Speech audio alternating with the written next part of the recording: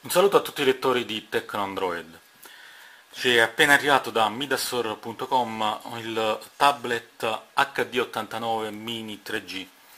Andiamo a effettuare l'unboxing. Si tratta di un tablet 7 pollici, in questo caso di colore bianco, ma lo potete trovare anche in nero.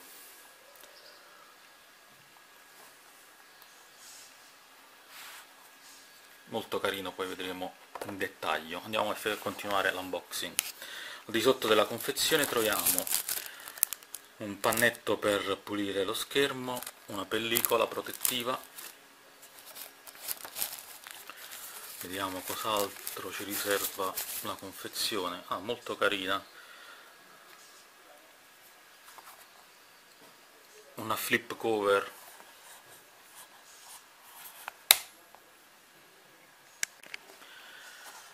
Molto molto bellina, molto carina veramente. Con chiusura a calamita. Dovrebbe andare in questo modo credo. Sì. In modo che poi abbiamo anche l'apertura per la fotocamera. Molto molto carino. Continuiamo con l'unboxing. All'interno troviamo chiaramente l'alimentatore USB il cavo dati USB, micro USB anti-attorcigliamento analogamente per le cuffie anche se sono anti-attorcigliamento con cuffie in-ear abbiamo la batteria.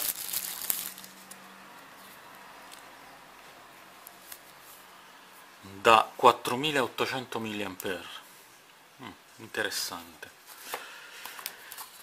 E per concludere ovviamente abbiamo una piccola manualistica, un manuale d'uso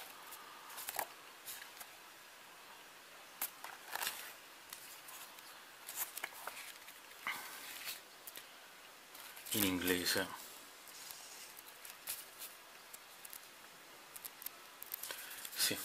Solo in inglese. La forma è davvero molto carina un tasto centrale.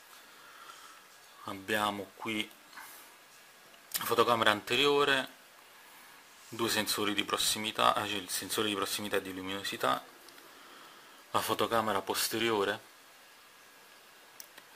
con flash led due tasti questo sarà del bilanciere del volume.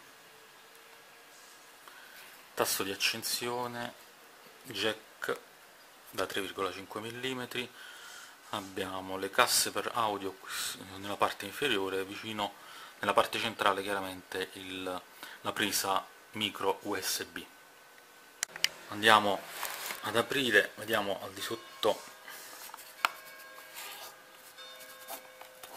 che cosa abbiamo. Si tratta di un dual sim come vedete con sim normale più supporta la micro SD devo dire che per essere un tablet che ha chiaramente avendo le due sim funzioni telefoniche cinese devo dire i materiali sono molto molto buoni. Anche il policarbonato è veramente uh, di ottima qualità mm. inseriamo la batteria così vediamo di accenderlo. Mm, vi confesso che mi incuriosisce molto.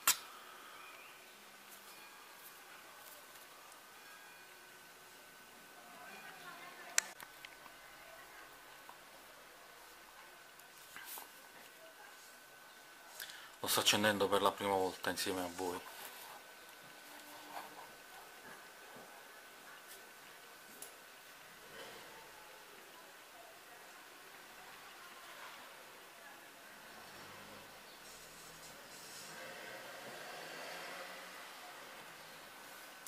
si è già acceso, veramente veloce, dimenticavo di dirvi che si tratta di un quad core veramente molto molto carino. Per ora è tutto, lo testeremo nei prossimi giorni, ve ne daremo un rendiconto completo. Per ora è tutto, un saluto a tutti i lettori di tecnoandroid.it da Afterburner.